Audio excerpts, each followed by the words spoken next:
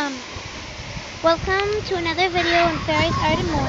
This is going to be very short, and it's just like me at a public place. I was at a swimming hole in the Puff Falls of Washington, and I was, I just saw this dragonfly, and this is the third spot that it's landed, and looked like it was hurt or dead, though it's not, and, and it did fly, and yeah, so if you like this video and like to see more videos like this, I will certainly post post more of animals like this, especially if you see, especially if you like this, comment.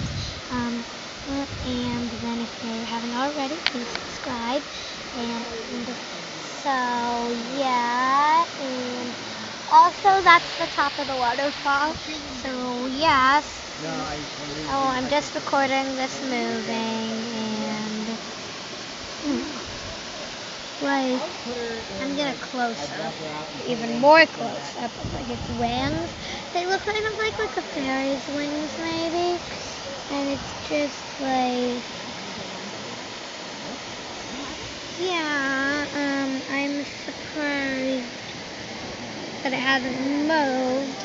So let me see if I can get it to move. Yeah, I touched it, and it's flew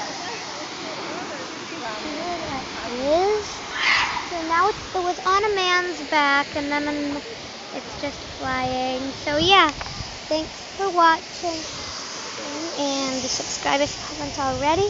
And like and comment if you want to see more videos like this. And I will certainly post more. So yeah. I don't know where it went. But for a few seconds it was on a man's back. So thanks for watching.